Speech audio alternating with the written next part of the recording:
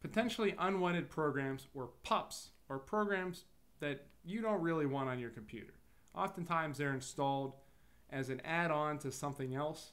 Uh, you might be trying to install like you know, a version uh, image editing software like a something like a power or PowerPoint or something like Photoshop okay and then as you're installing that it might be an open source piece of software that company would be paid by another company like McAfee or whatever to install or add another installation as part of the installation process. So if you're using Windows, you're going through your setup window, you're trying to hit next as fast as possible to not waste your time, and you're gonna see like a little checkbox that says also add this search extension or also add you know XYZ search tool to your browser.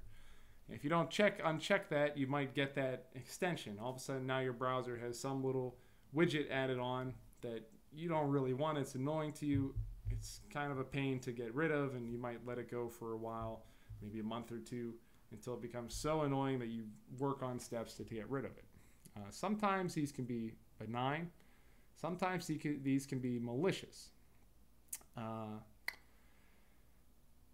a good example of this is uh, Bonzi, Bonzi Buddy. Back in the 90s, late 90s, early 2000s, there was this program called Bonzi Buddy. It was this like desktop helper tool. And what it would do was it was supposed to, it's this little purple gorilla. It was animated on your desktop and it tried to help you with all different tasks. It tell you jokes and stuff. And really the purpose of this tool was to harvest your credentials, steal personal information from you. So it would ask you things like, oh, I just want to get to know you. And this purple gorilla would be asking you for your address, your phone number, and your name. And, and a lot of people bought into this and they gave that information. That was being stored by the creators, and the creators were just selling that information to companies for advertisements. So that's that's a great example of a potentially unwanted program. If you want to look up Bonzi Buddy, go look it up. You'll see exactly what I'm talking about. But for the exam, you just need to know probably this much. You don't need to go into you know an arc- archaeological dig on the pups of the past.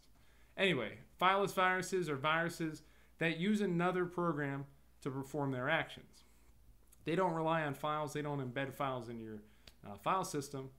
They just perform all their actions when another program is running. Now you might ask, how is this different than a Trojan? Well, I would consider a fileless virus a type of Trojan because when you install a uh, that program, usually you get that fileless virus if you get it from an illegitimate source. It's a little different though because fileless viruses don't necessarily need to be downloaded with the program. They can be installed on your computer separately, and then they would just wait until that program is in use to perform their actions. For example, you have fileless viruses that work with Microsoft Word. You might not necessarily download Microsoft Word or version of it with a fileless virus with a Trojan, because remember, Trojans are always downloaded with a legitimate program. But what you can do is you get a fileless virus on your uh, system, and it would just wait until you use Microsoft Word to maybe make an essay or whatever, and then it would start using its actions. It would start using Microsoft Word as its mechanism.